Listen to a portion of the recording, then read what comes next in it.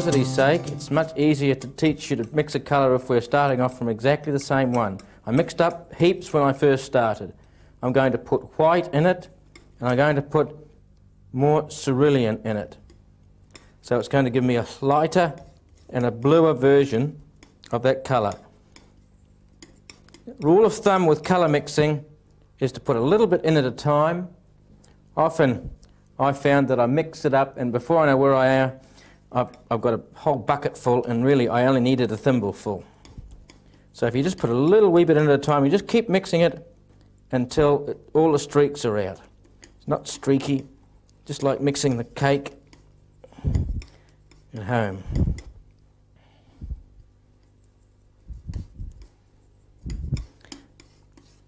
I'm looking for two components in, in this colour. I'm trying to get the right value of colour and the right hue of colour. I can mix it up, compare it with my photograph, compare it with my oil sketch. Once I've got it, away I go. Now, through here,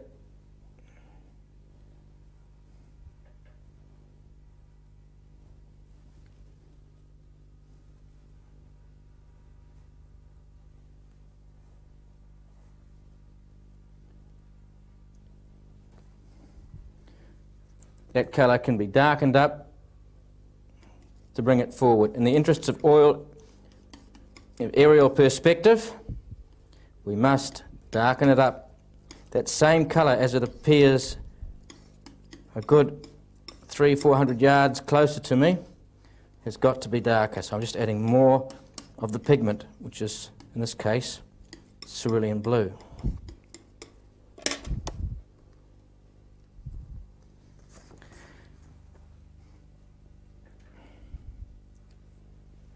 In it goes. Now, where I'm getting this colour going over the top of the other colour, I've got to be very, very careful. I put the original colour on thinly, as you may remember. The reason I did that is because I knew I'd be coming back over it later. You cannot put fat paint onto fat paint. So to that degree, you've got to plan it. If you know you're going to come back into it later, you have to put thin paint on. That's plenty of medium. Keep the paint thin.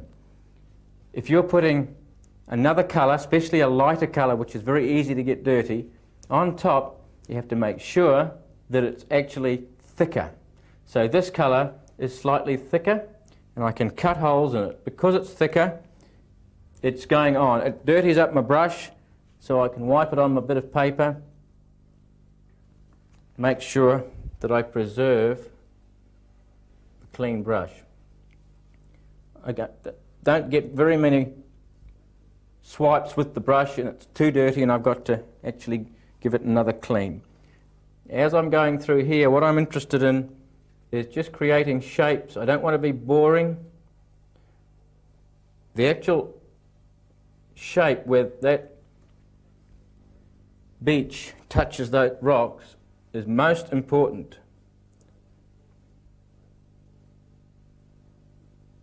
Mustn't be boring.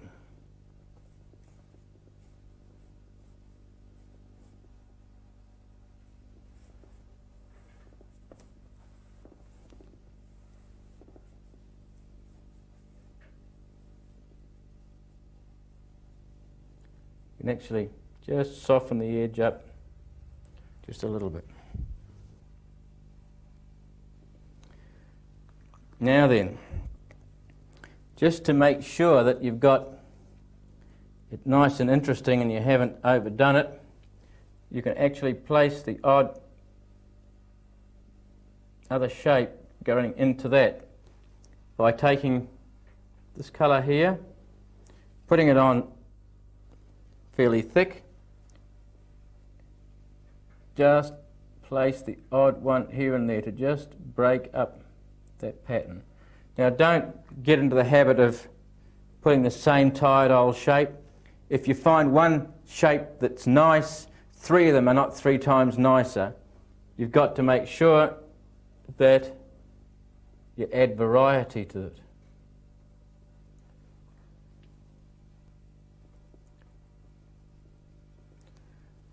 Now then, I've mixed up a dark colour. What I have done is I have taken this colour and I have added ultramarine blue and viridian to it. Um, and I have actually arrived at a colour which is quite a lot darker. Mostly ultramarine blue. There's very little else that I added to it. And I've got a colour which is quite an attractive colour, which is just the rocks appearing down through here.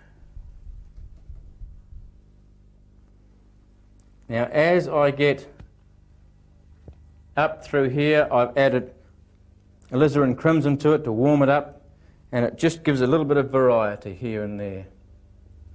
Now, we're just going to be creating shapes with this. I'm loath to take a small brush because if I do, I invariably start puddling with it. If I keep with a, a big brush, it's very difficult to make that mistake. So I tend to persevere with a brush which feels too big for me. If it feels slightly too big, it's probably the right brush. I'm just putting in the absolute darks here, where the light's not getting at all. I'm making suggestions. That's all I'm doing. Try and remember that this type of painting is actually Impressionism. So what we're trying to do is just create suggestions. I suppose if you were to compare it with other art forms, such as, say, writing a book, you could say that if you were going to reproduce a photograph or a painting in its absolute detail, you would be comparing it to maybe writing a novel. Whereas with Impressionism, I'm only creating an impression. I'm trying to put down as little detail as I can that will trigger responses in your subconscious. Memories, things that you've got stored away, and your brain will actually let you see things that you haven't actually seen, but I've just suggested them. And that's called Impressionism. And that, in the simile again of writing the book, that is like writing a poem. What I'm trying to do is to write you the book with as few words as possible. So I bear that in mind when I'm doing my painting, that I keep it as brief as possible and I just write you a poem. Now, we haven't put on any highlights at all as yet.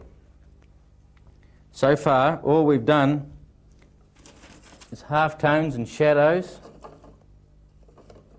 And the fun will start when we start putting on the highlights. Don't fall into the trap of finishing an area of a painting. You must let the whole painting move towards completion together. It's got to go through an ugly stage. If you don't allow it to go through that ugly stage, the stage where you really do do a lot of worrying about it, uh, then it's just not going to come right. So let's push on. These colours that I've put up through here, I really ought to look at reflecting them. So I'm going to mix them into my reflection colour. It's fairly simple. Just take a piece of my reflection colour and I'm going to mix those colours into it.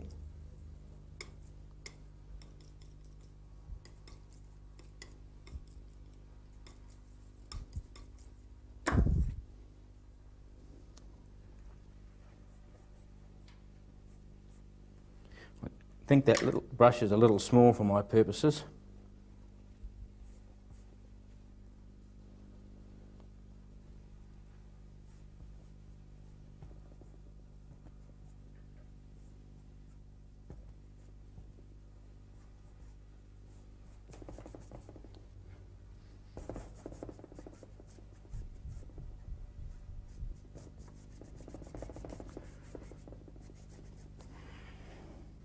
There's lots of other details in that bank that are crying out for me to put, be put in, but I'm loath to because I want to keep it simple. I want now to just put in what is going to be the highlight in the distance there. Because there's so much atmosphere, the highlights were being affected by this misty atmosphere, and the highlights really weren't very strong. So I'm going to take this colour and I'm just going to add white to it. And because the sun is warm, I'm just going to warm it up. I want to lift it in value slightly and I want to warm it.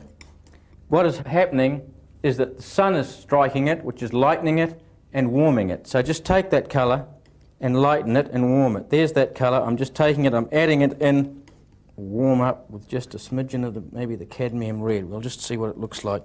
Yes, that's warming it up just a little bit at a time. Now the sun is just striking the tops of those trees there in the distance.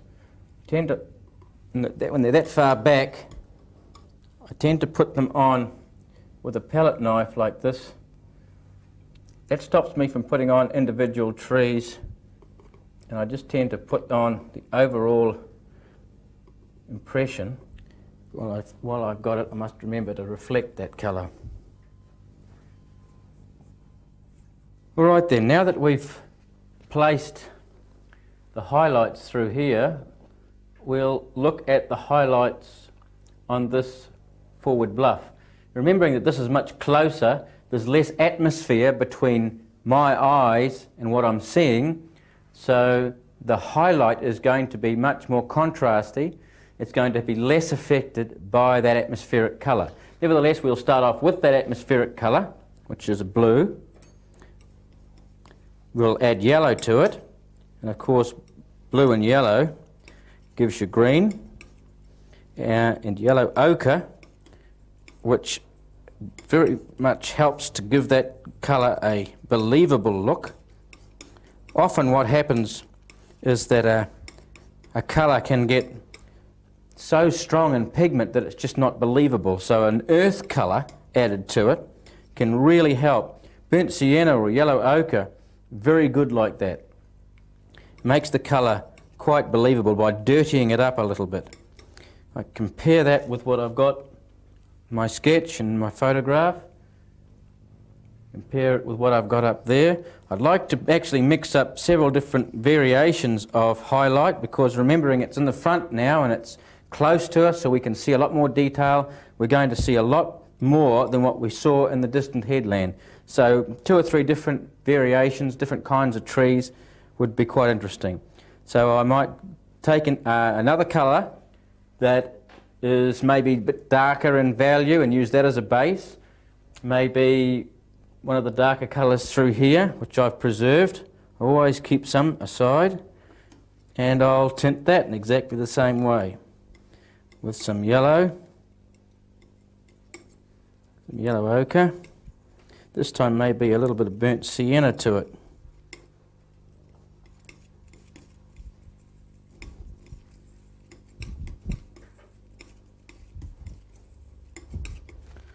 bit more.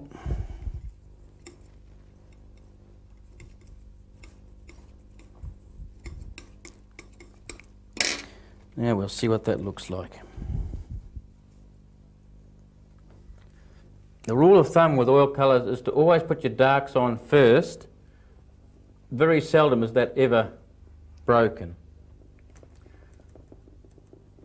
And you work up from your darks to your to the next one, and the next one, and the next one, till you get higher and higher and higher in value, and you finish off with the highlights. I don't want to put too much of this green on because it'll destroy the atmospheric look through there. I just want to give subtle tints.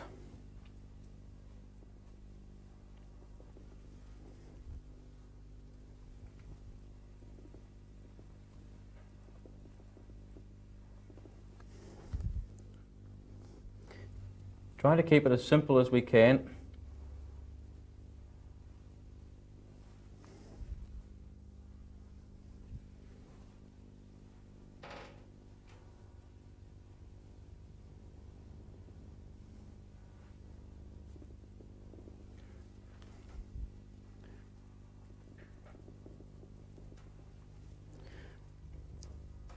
Now, we're also getting a nice pink colour coming through. And that's striking the rocks. It's actually striking that bluff coming up through there. Lots and lots of areas, especially the bits of trees, it's striking bits of the bank, and that really does give it a nice warm feeling. Grass up through here. There's quite a lot of nice subtle detail which I want to put in. So I'm going to take white and I'm going to add some cadmium to it. There, that's a good example of a, a colour which tends to take over. Some of those colours are very strong in pigment. I added ever such a little bit to that white and it's well and truly taken over and I've got to add a lot more white to compensate and if you're not careful you wind up with a bucket full of paint and you only really need it a little wee bit. That's miles too light. I've got to tone it down. I'll put a bit of burnt sienna into it to give it a little bit of a dirty colour.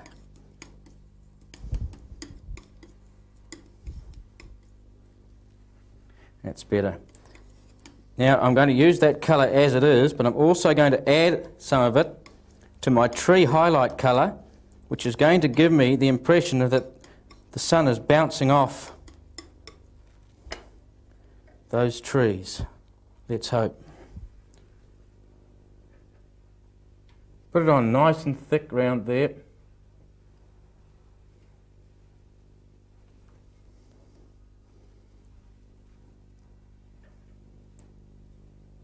Don't like to be repeating myself, but I have to stress because the number one mistake I think I see with uh, students that I teach is that they become repetitive. Don't be repetitive. Try and show as many different brush strokes as you can with the same brush.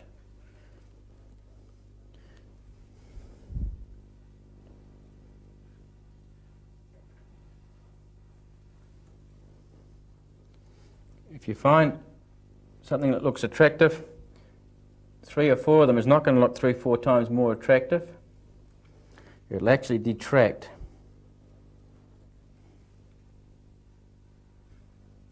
It was full of uh, cicadas, and it was a beautiful day. I'd like to try and create the impression of that beautiful day if I can.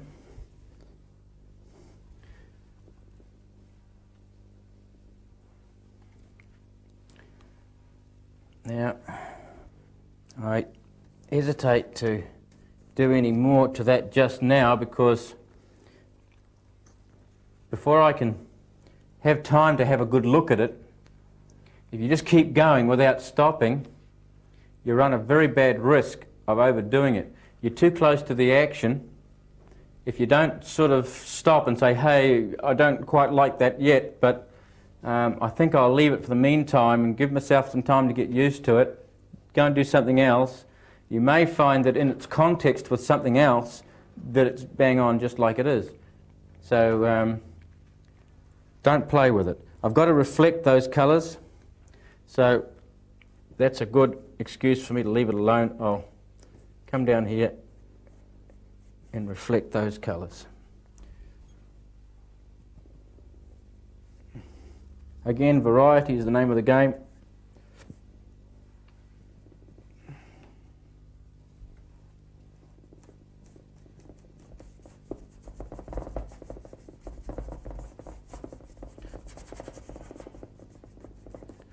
smoothing it off with gentle brush strokes like that.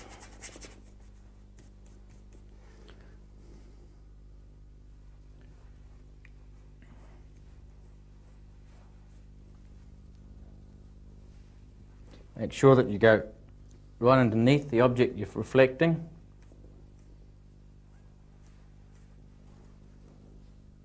There are some laws of nature that don't ever bend. And if you want to remain credible, you've got to obey them. The trick is with Impressionism that you put in very little detail, but what detail you do put in must be right. Because whenever you do make a statement, that statement has got to be reliable. Thus, the reason, of course, you'd never have horizons running uphill and things like that, because as soon as you did that, you'd lose credibility and the illusion would be broken.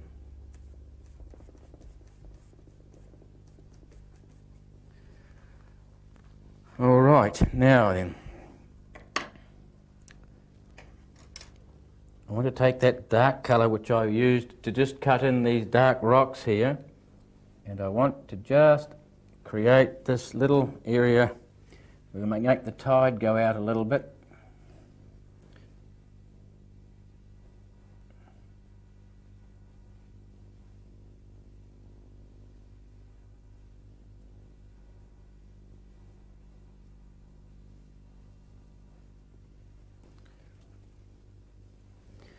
Now, to reflect that, it's simply a matter of placing the brush on it and flicking it gently down, just kissing the surface. It's only just touching the surface and just flick it down. I'm changing colours, especially when going from a dark colour to a light colour. I must clean that brush off.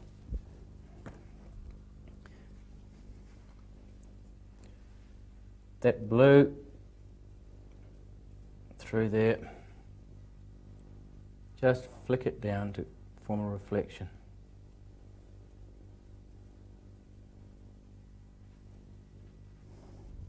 Nothing difficult about that at all.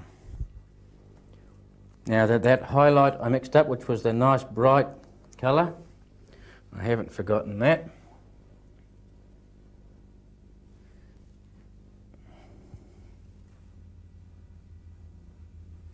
Notice again I'm using a brush much too big. I'd far rather use the brush miles too big and use on the edge and risk puddling with it. Very important that we just create that illusion. I've kept some of those colours that are over there and that, that bank, the half lit rocks, and I'm just mixing little bits of that highlight to them to just pick out the odd one here and there.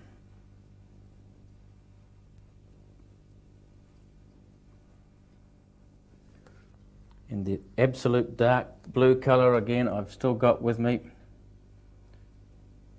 to just continue the illusion of rocks by what I'm doing is I'm painting in rocks not by painting the rocks but by painting in the gaps between the rocks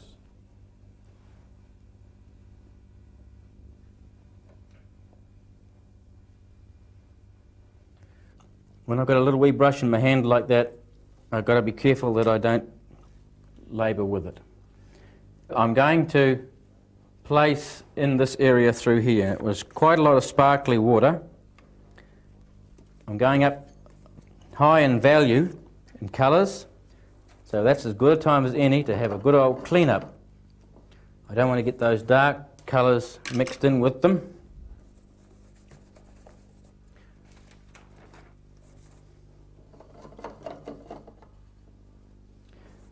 While we're having a clean up,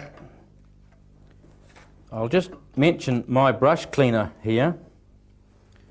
Try and remember that Terps does not dissolve paint, it merely suspends it.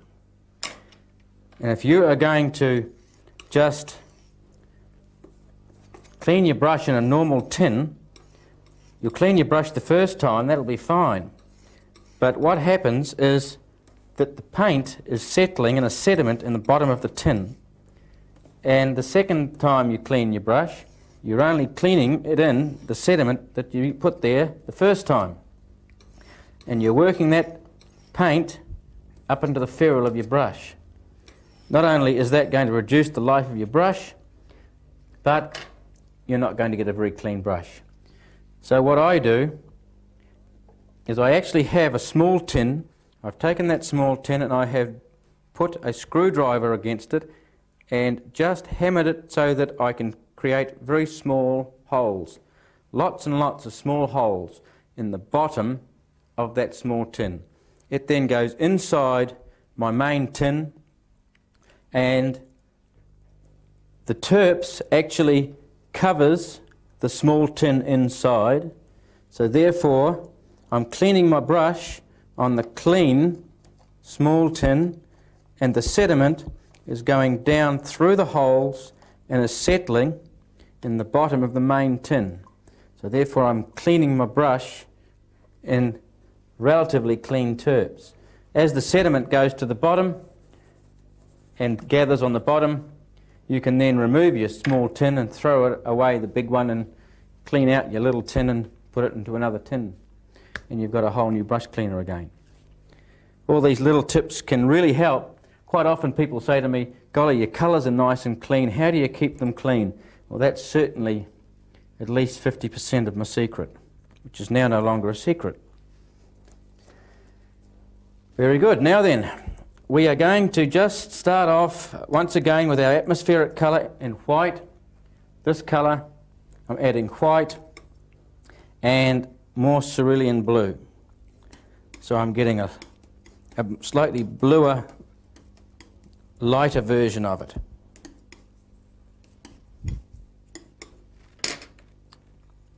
Plenty of medium. And on it goes.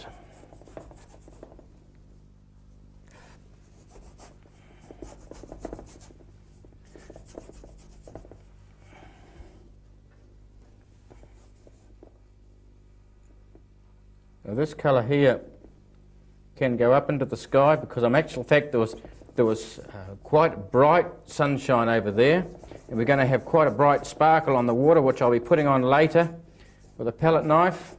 So this goes on nice and thin so that I'm not going to be fighting with it later. I don't have to worry about covering the board because the board is, is tinted. So I don't have to worry about covering the white. So what I'm going to do is I'm going to run that colour up close. When I've got it well and truly on, I can brush it across till it's nice and smooth. Vertical brush strokes to just tidy it up. Now I've got it on, I can bring the two colours together.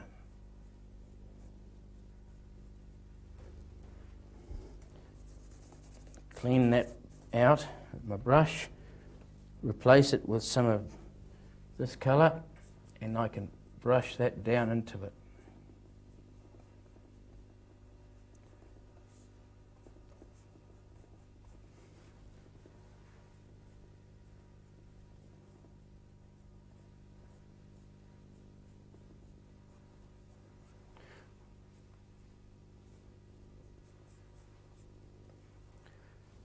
Nothing of any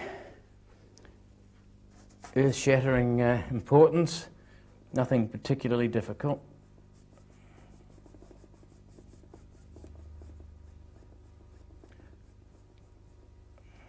Now, as that is coming closer and closer to me, it's getting darker and darker, remembering that the water is reflecting the sky that's above it. As the sky gets further and further over our heads, it's getting darker and darker. So the water has to get darker and darker. So therefore we create the illusion of distance by suggesting that very thing. We just darken that up with more cerulean and viridian, or hooker's green if you like. I seem to use hooker's green or in viridian about the same amount, it depends on which one I can buy at the time. And they're very similar, it seems.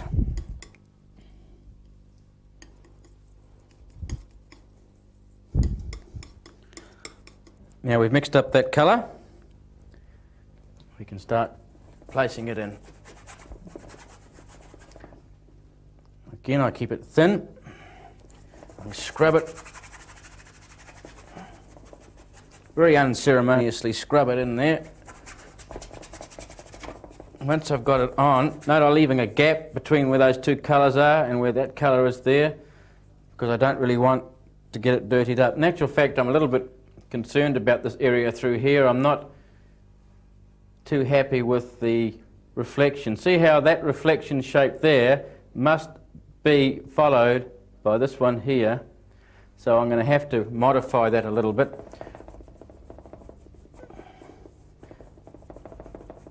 Once I've got that colour in, I can blend the two together so that it goes gently from one colour to the other.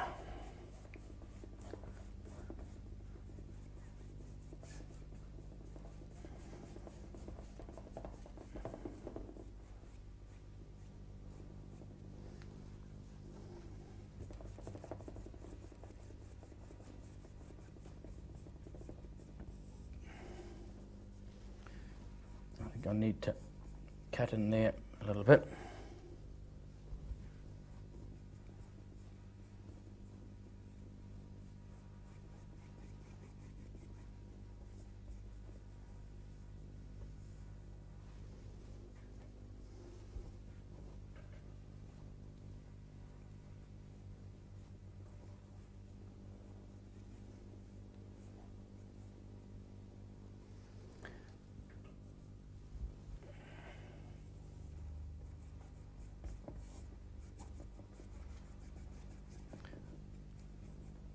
Now I want to get darker still as I come further forward, so I'm going to add more of the cerulean and the hookers.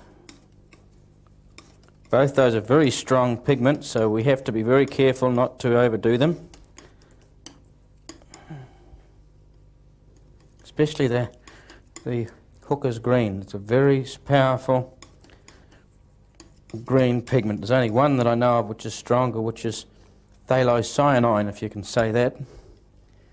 But very, very strong indeed. If you're not careful, it'll take over. So now we've got it darker again, just for the very front.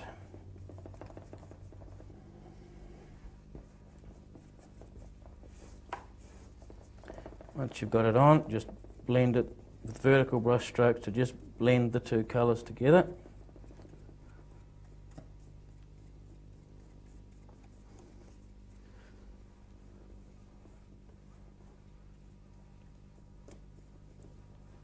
Vertical and horizontal brush strokes.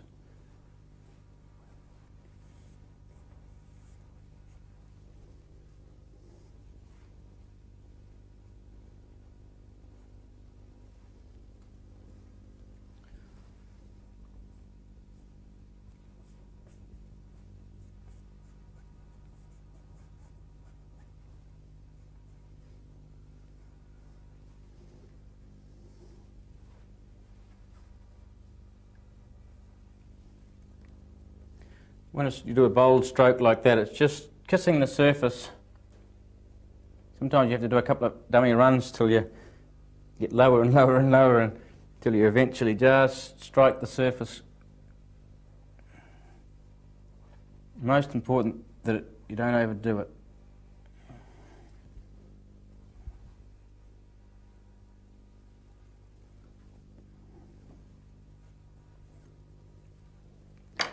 Now you can create the illusion of waves.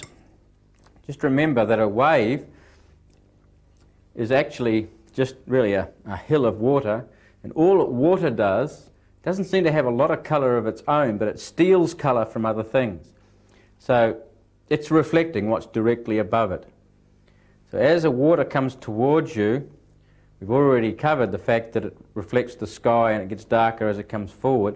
But as it goes up like that, it's going to strike the light across its top edge. As it rolls over, it's going to start reflecting the light directly over your head. And it's going to go suddenly a very darker colour. So you can create the illusion of the water by placing dark and very light or, or white light.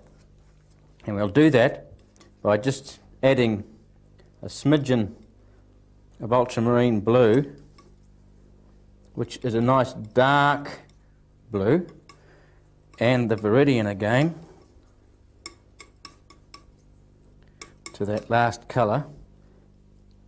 I'm adding, I'm actually adding cerulean blue, which is a nice sky blue, and I'm bringing it down in value by adding a smidgen of the ultramarine blue.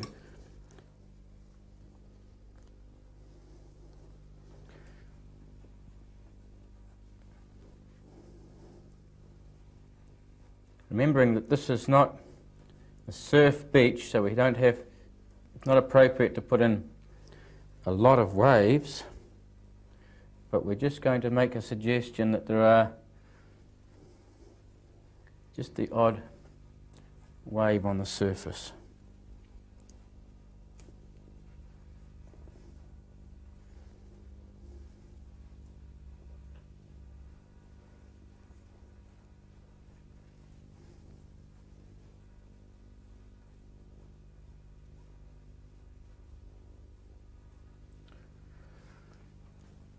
Now then,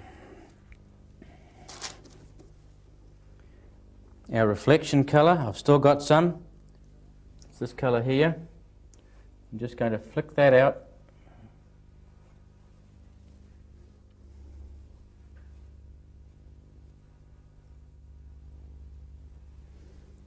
Just to make some interesting shapes through there.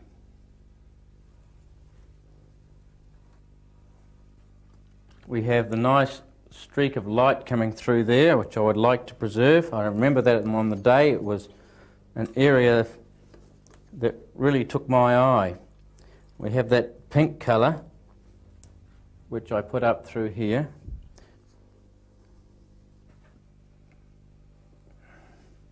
Can go on nice and thickly.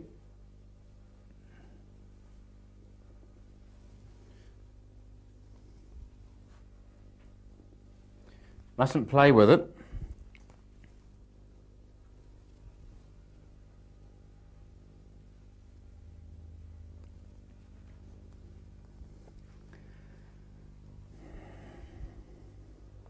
We also had that colour appearing all over the painting actually. It was a painting which was glistening with the light. Now then, I think most of those colours are reflected. We need to just make sure that they're reflected.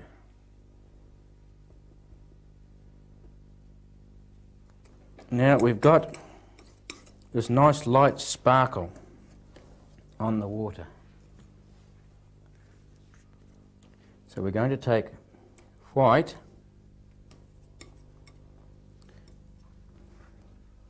I think that white and a wee bit of the, the cadmium red. I'm, I'm loath to put white all on its own because it seldom appears in nature. Even the, the bright white from the sun is a warm white. So I'm taking white and just warming it with some cadmium red. And that we can put on with a palette knife represents the glare on that water. Palette knife's ideal for this because it goes on more random. Uh, if you put it on with a brush, you tend to have your pet brush stroke and you repeat it over and over and over again. And you wind up with trees that are like shark's teeth um, or very repetitive rock shapes or whatever. But wherever the temptation is to make something repetitive, then palette knife's good. Can give you a nice clean colour too.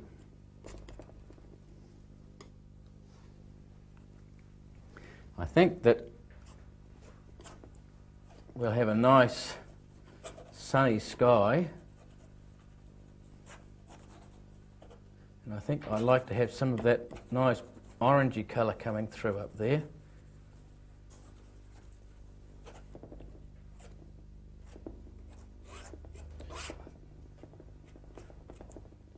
Think I'll hide the horizon.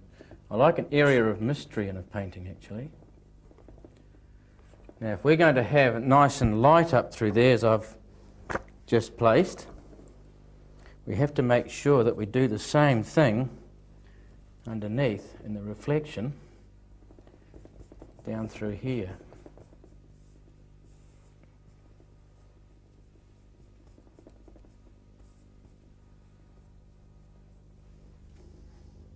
One of the pleasures of, of oil painting, unlike watercolour, you can change your mind. With watercolour, you've got to plan it right from the very beginning. And if you change your mind halfway through or something goes wrong, well, generally speaking, you can throw it away. But with oils, it's so forgiving. You can shovel it around, you can make mistakes, change your mind.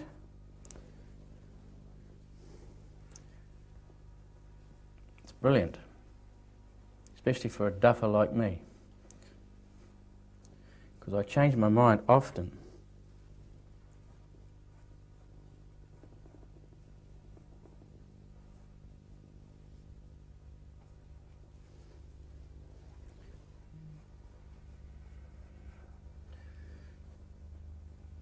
I'm just trying to get a soft look through there without overdoing it.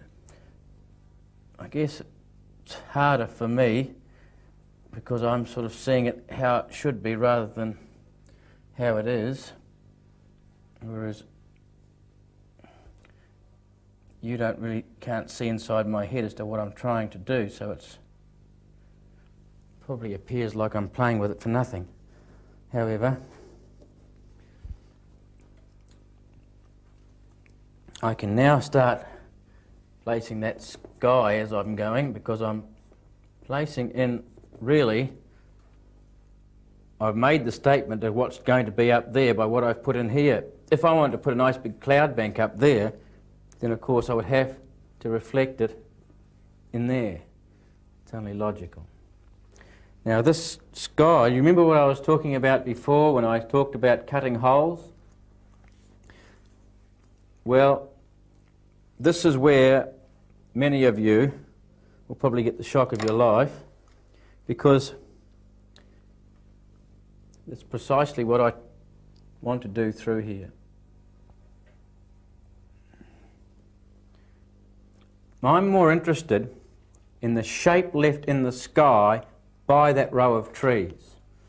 Now, there's a whole subject which we could get involved in here, and we haven't got the time. There's been books written about it, and maybe one day I'll make a video about it. But it basically says that you've got to be thinking on the right side of your brain in order to be able to see this way. That's why artists are an un unusual breed. But as long as you are thinking logically, you'll always think that trees grow up this way with brown trunks, and they all have green foliage going this way. As long as you're thinking like that, you're going to put in the symbol for a tree which looks a cross between a shark's tooth and an umbrella. What I'm interested in is shapes and patterns. In this case, I'm interested in the shape left in the sky by that row of trees. And that is much more interesting. I'm using a brush that's miles too big. It stops me from becoming too fiddly.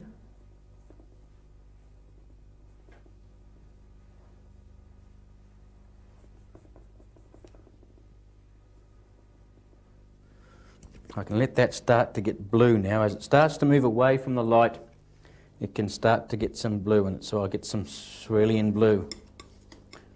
We're going to place that colour in through there.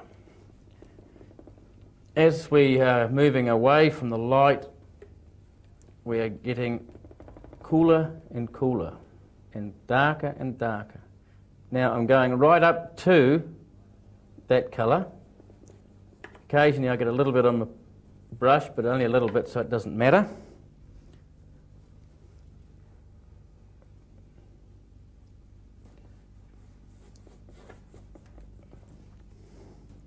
And now I can cut the odd little hole in there.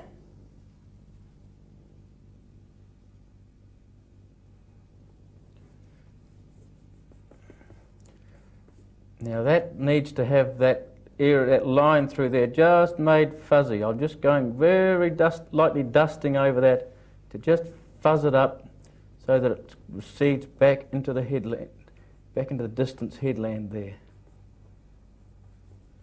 And as we come further to the left, it's got to get darker and darker, so I'm adding more and more cerulean, which is just bluing it up and darkening it up as it goes further to the left.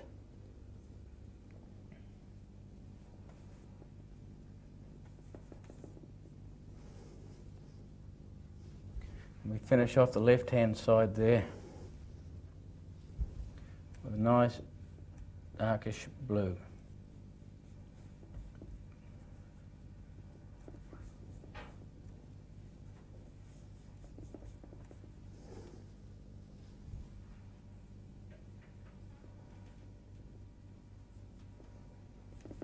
Again, I need to just fuzz that detail up there. I want it to be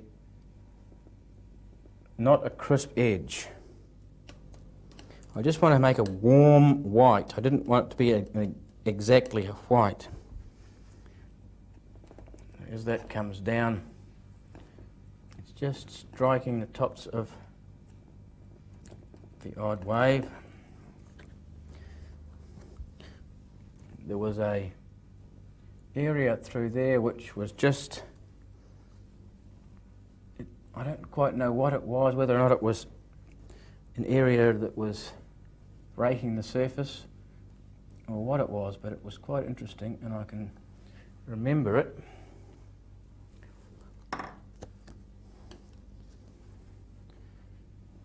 You have the light just catching the tops of the of waves. There was lots and lots of little like bubbles going out across the surface here.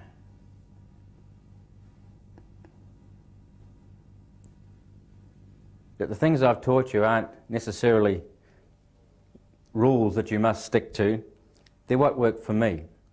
That doesn't necessarily mean that they're golden rules and everybody that's successful must do that. A lot of artists who are a lot better than me don't necessarily follow those rules.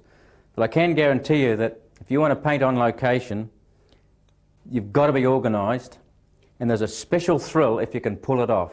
There's so many things working against you that if you can do it, there is a tremendous thrill. And if you've never tried it, if you've never tried painting, why don't you give it a go? Because you never know, there might be a talent there that you didn't even know you had. And if you didn't give it a try, you'll never know. Best of luck.